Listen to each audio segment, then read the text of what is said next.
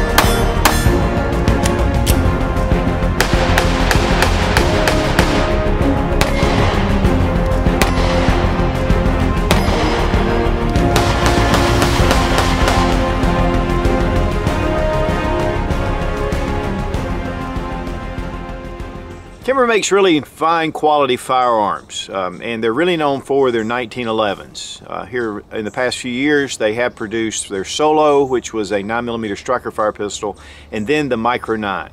Uh, this is a miniaturized 1911 super fine quality.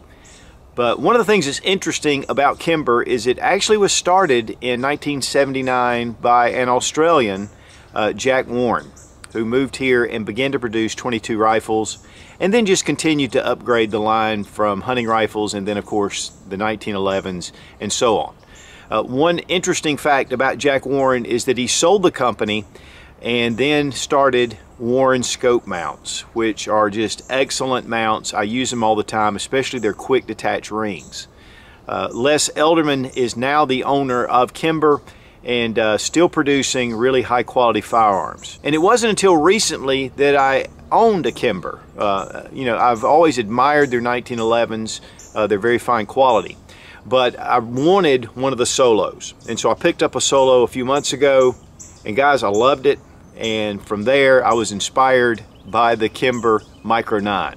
Now gunbuyer.com sent the Micro 9 for this test and evaluation. It is an incredible source if you're looking for firearms and plus they're just great to deal with so check them out. The Kimber Micro 9, uh, really just a mini 1911. Uh, and it's funny because you know a lot of 1911s now are available in 9mm.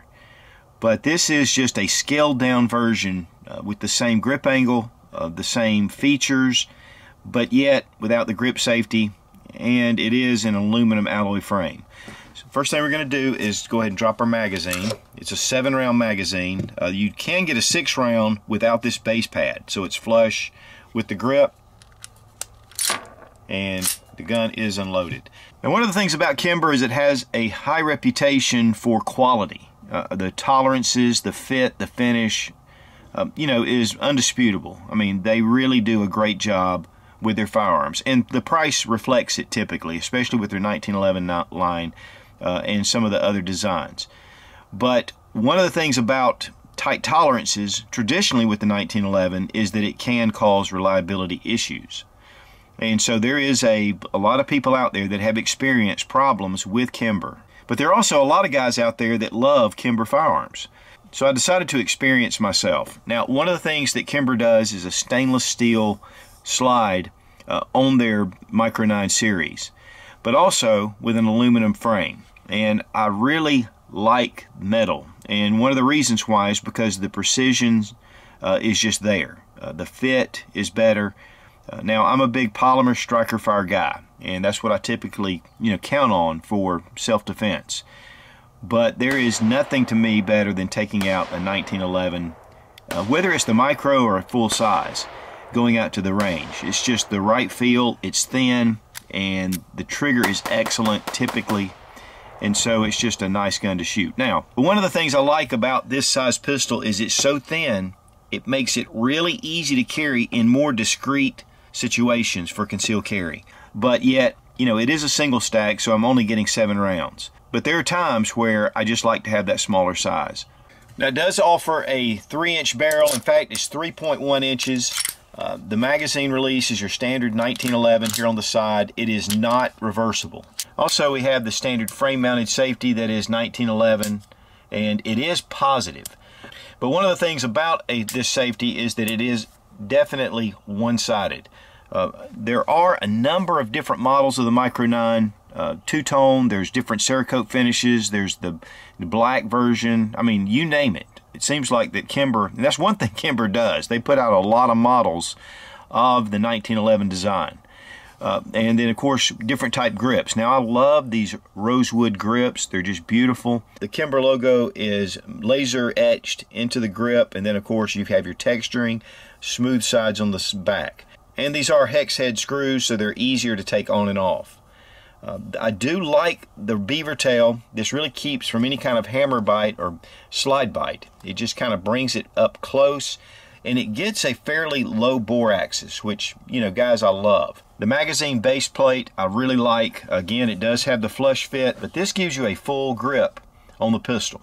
I'll tell you guys, this gun, I mean, it just nestles in your hand, even though it is a real small handgun. And when firing it, the recoil is fairly snappy.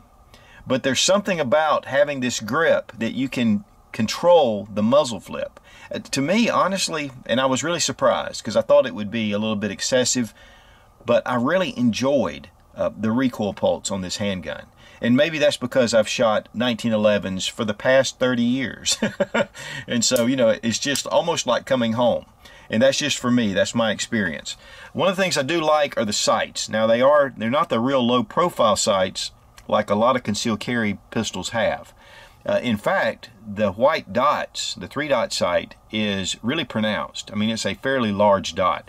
So you're going to be able to pick up that front sight very easily. Now, they do offer the night sights, and again, there's just a lot of different variations. Plus, the sights are steel. I like that, and they are dovetailed in, and of course, there are other options out there for sight replacement. Again, if you want to go with night sights, or whatever's your preference. But honestly, from the factory, I do like these sights. Uh, the hammer is spurred and so it gives you you know ease to bring this hammer back and with a single action it's important to be able to get that hammer back. The slide serrations are good and strong makes it really easy. In fact really for you know female shooters or the elderly or people that really have weaker hand strength uh, this is not a bad slide pull. You know, some guns can have more of an excessive slide pull. The mainspring housing is checkered and uh, it is a separate color. This is aluminum, uh, so you have some checkering here, but they don't put checkering on the front strap. I think I would really like to have that. I think some of the models do have it. Uh, but of course, these go up in price with different features that they have. Uh, and then with just the plain stainless, and it's kind of a brushed finish, um, it's very clean looking. And I, that's one of the things I really liked about it. With the hammer back and the slide engaged, you can still rack the slide. So if I want to do a press check, even with it loaded, cocked, and locked, I can do my press check. One thing I did notice is that when you drop the hammer and you have the safety engaged, it doesn't come back. So just something to note. The ejection port has been lowered and flared, uh, and that just allows for better feeding, especially with hollow point ammunition. One thing that Kimber states is you really need to shoot premium loads in your Micro 9.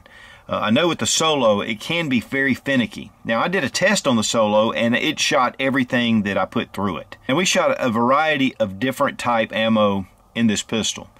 One of the things that we had right at first was when my daughter was shooting at Cermak, uh, she started having some problems uh, with it jamming right up front, first time she shot it. And I watched her, and she was actually limp wristing it.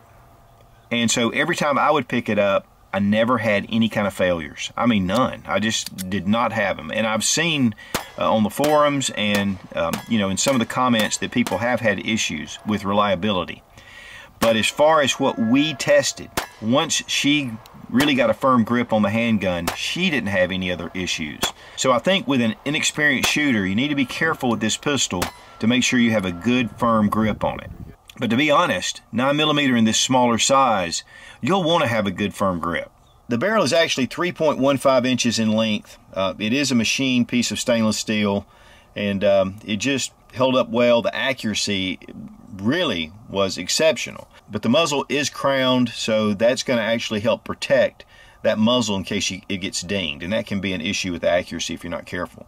It also features a beveled magwell, which makes it nice to be able to get those magazines in and out. We didn't have any problems with magazines, but one thing we did have an issue with is with this base plate kind of sticking out.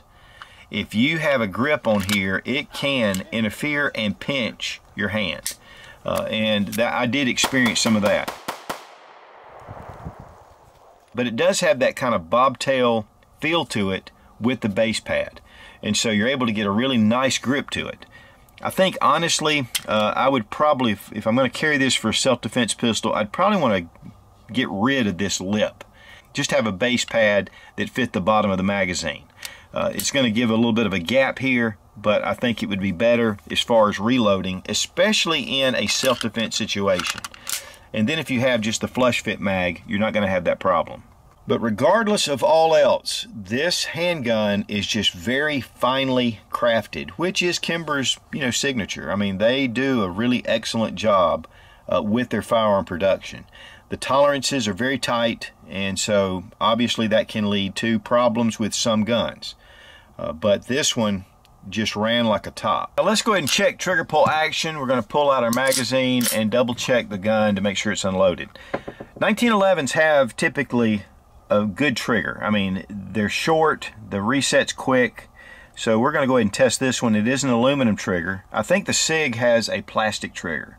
Uh, so you're going to get a better trigger. But you can see that it's more of the pivot style than one that on the standard 1911 you bring back with the bars. So we have a little bit of take up. There's a nice place where it's at the wall. And then a really crisp break. Reset right there. So super quick reset, back on it. Uh, this is an excellent trigger. We're going to check trigger pull with our Lyman trigger gauge from Brownells. Now Kimber states that it's a seven pound trigger pull. 5 pounds, 8.8 ounces. 5 pounds, 4.9 ounces. 5 pounds, 2.7 ounces. So uh, not anywhere near the 7 pound mark. And honestly, it feels like it's less.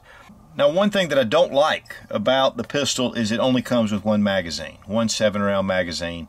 Um, and so, you know, especially when you go into the range, and honestly, you need a backup, one or two at the least.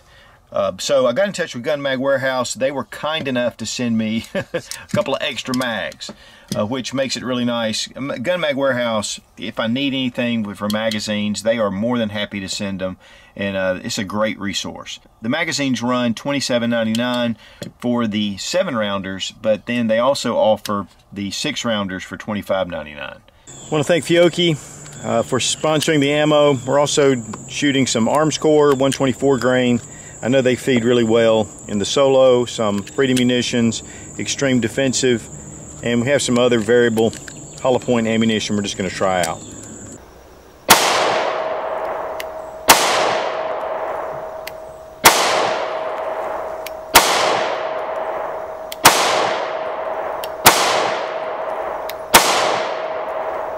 Now again, we did take the Kimber Micro 9 to the range three different occasions. Uh, first time I wanted just to get a feel for it and as we've shown we did have a few issues right up front and it was really attributed to my daughter limp wristing. you know she wasn't really used to shooting this small 9 millimeter. Uh, but after getting a good firm grip we didn't have any other issues. Now when we took it again twice more we had no malfunctions at all.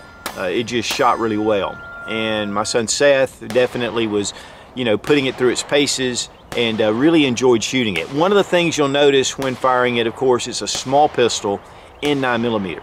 So you're going to get some muzzle rise. I mean, it is a little bit snappy. But there's something about the grip angle and the way that this thing fits in your hand that it is actually a pleasure to shoot. I honestly enjoyed shooting this handgun. There are some small handguns that I get that after about 100 rounds, I'm done. With the Micro 9, we just continued to shoot it. I really had planned to shoot about 300 rounds through the pistol and ended up shooting 500. Um, now, one of the things about the accuracy is that it's spot on. And typically 1911s can be very accurate, especially when they have really tight tolerances. And so that's what we found. One of the things about the sights, uh, the three dot sights, they really showed up well. They're a little bit larger and able to grab those sights really easily. I mean, this is considered a concealed carry piece mainly, uh, but it does give you the feel of a full-size gun in your hand. I mean, it just really feels into your hand. Uh, so total pleasure shooting it. Uh, there have been some issues with some people and you know guys, you know, that's just the way it is with different gun companies. But as far as my experience with the Kimber Micro 9, it was stellar. Now for disassembly, we're going to drop our magazine, make sure the gun is unloaded, plus it brings the hammer in the rear position. You'll notice right here is your slide stop notch, and then behind it's a little crescent. We want to get the little notch that's in your slide stop to line up with this crescent. So we're going to have to grab it and pull the slide back. And if you look through here, you can see the little corresponding crescent that's in your slide release or slide stop. Now, I've taken a punch. The first time I did this, it was a little difficult. It's very tight. So I want to get it out to where it just kind of pops out and then it'll pull right out. Now take the slide and just go forward. Again, you don't have to pull the trigger, which makes it nice. Uh, you have your full-length guide rod and spring. I want you to note though that this is a flat recoil spring. These really aid in recoil mitigation. Uh, and I've seen this with a number of different ones. And then we have our barrel. We're going to pull it out. I have put 500 rounds through this handgun. Uh, and you can tell by the way that the barrel, you know, it's just stainless, and so it does have some wear on it. But I took it three different times to the range. Uh, you have a nice, polished, very extended uh, feed ramp, and of course you have your uh, crown on your muzzle. Here you can see you're similar to the 1911 style, and then with the frame, same thing. One thing about the 1911, it's fairly simple, but yet it's still old school, so there are some considerations. Now, this is all you need to do to field strip. Let's go ahead and put in our barrel.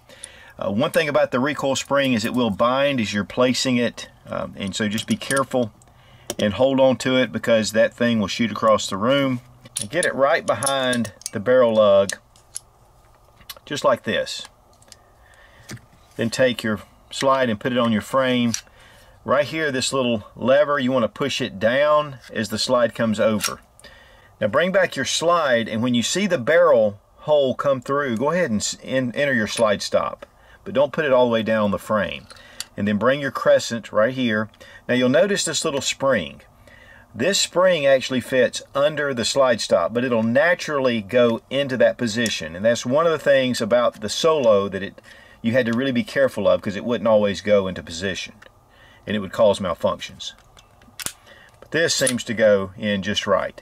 One way you can check is to get up here where your slide stop is, and if there is spring tension, you're set but I haven't had any problems with it not being set. So just FYI. And so here we go. Function check, and we're ready to go. The great thing is it doesn't have the barrel bushing and all the other stuff that goes along with your standard 1911. Now the Micro 9 comes in a cardboard box, uh, and that's fine with me because I don't use typically my hard case plastic boxes. Uh, and then you get a gun rug which I really like that. And so it has a little place for an extra magazine. It did come with a chamber flag. Um, this is a nice little pistol rug. And of course you have a sticker, your standard information, uh, owner's manual, bunch of other things, and you get your wonderful lock. And they included a little bit of shooter's choice lubricant.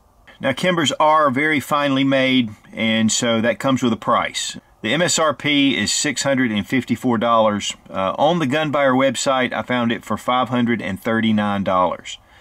And so Gunbuyer is an excellent source for firearms, and I highly recommend them.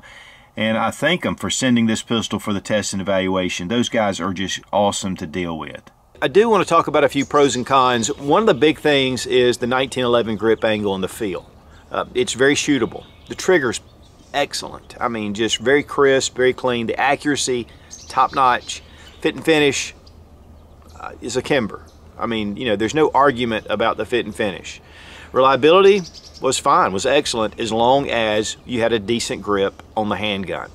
As far as cons go, one magazine. Uh, you know, I really would like to see two magazines with a pistol. I think that's just, you know, the minimum, but you get what you get. And of course, I want to thank Gun Mag Warehouse uh, for sending those extra magazines for the test.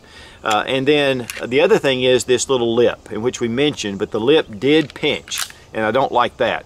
Uh, I think some uh, front serrations on the front strap here on the grip would be a nice addition. There are, again, some models that have that. Uh, you know, if you're a lefty, you're going to have some issues. Of course, the safety's on one side. There may be some models with ambidextrous safeties, but the magazine release is pretty much dedicated to one side because it's the 1911 frame. Uh, it is single action, so you know that is one thing. If you're used to carrying striker fire pistols, it makes a little bit of a different manual of arms that you need to train with. Uh, but overall, the shooting on this pistol was excellent. I love the feel of it, and um, this is definitely going to be a keeper. So again, I want to thank gunbuyer.com for sending the Kimber Micro 9 for this test and evaluation. Uh, guys, I'll tell you what, if you're looking for firearms, check out gunbuyer.com. They are just excellent to deal with, and it's really nice to be able to get different handguns to bring to you guys. Now guys, this video was brought to you in part by BattlBox. And if you've been on my Sensible Prepper channel, and I've said this a number of times, BattlBox is to me the best subscription service for tactical and shooting and you know prepping type gear, survival gear. They have some of the best quality items of any subscription box that I've seen. Uh, they have four different tiers, and the top tier, which is the Pro Plus Knife of the Month Club, typically the knife is as much as the box altogether with all the items, and that is at a good price. So BattlBox check them out. Uh, you get a 10% discount with the first subscription service using Sootch in the coupon code. And I'll have my latest BattlBox opening right here annotated. Be strong, be of good courage. God bless America.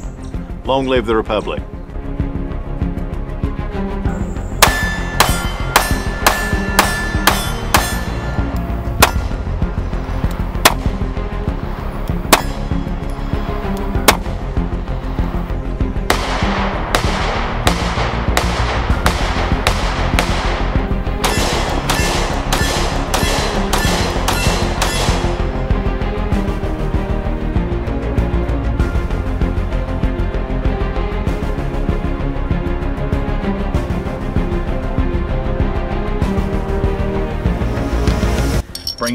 First.